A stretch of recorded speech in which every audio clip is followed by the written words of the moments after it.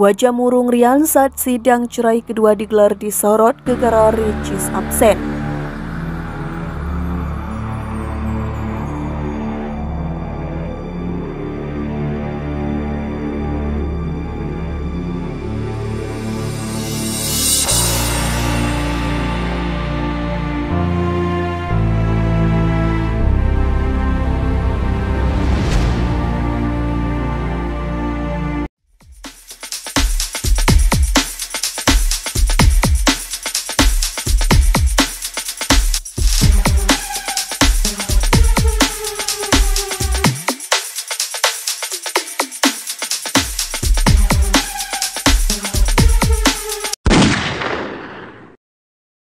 Sidang kedua perceraian Ria Ricis dan Tukurian digelar hari ini di Pengadilan Agama Jakarta Selatan.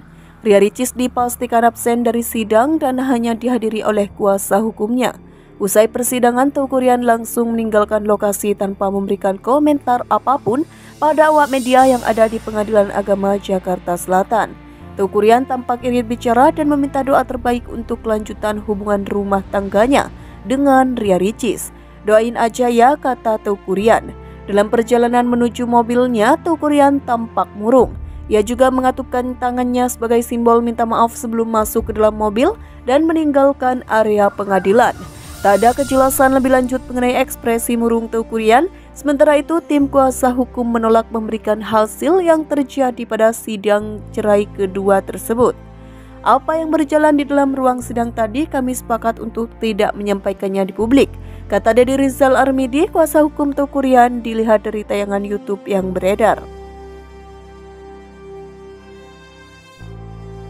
Persoalan Ricis tidak datang itu beda soal, klien kami tak kecewa karena memang Ricis tak diwajibkan datang dan bisa diwakilkan, sambungnya. Adapun sidang kedua ini adalah menyampaikan hasil mediasi yang gagal dilakukan pada dua minggu lalu. Agendanya hanya menyampaikan hasil mediasi yang gagal pungkasnya. Sidang cerai ketiga Ricis akan digelar pada 7 Maret mendatang.